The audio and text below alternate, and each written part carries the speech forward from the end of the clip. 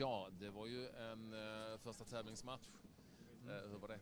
Eh, det var absolut kul. Eh, skönt att komma iväg med, med segern här också. Hur var det då ute på planen kände du? Eh, vi har väl ett ganska, ganska stabilt övertag på dem. Eh, vi trycker på för att få det spelet vi vill, försöka få vändningar så mycket som det går och komma till inlägg där. Men vi får dit två mål ändå och komma iväg med vinsten. Han du uppfatta eh, det där första målet som vi gjorde? Ja, knappt alltså. Det såg, det såg väldigt eh, skumt ut men det, det var målvakten som, eh, som sköt mot Zlatan så nickade han in. Ja, har du sett eh, nu i efterhand? Nej, jag har inte sett det. Nej. Han nickar faktiskt in bollen. Ja, då. ja. Han hinner faktiskt nicka ja, in. Det är bra.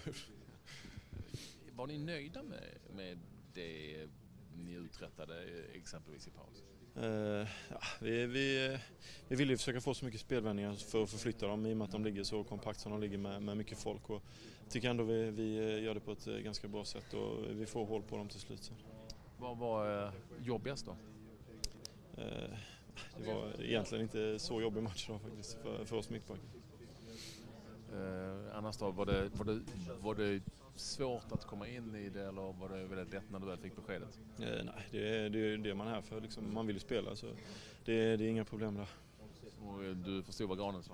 Eh, ja, jag har levt i Skåneland nu ett tag så man börjar lära sig. Tack så mycket. Tack, tack.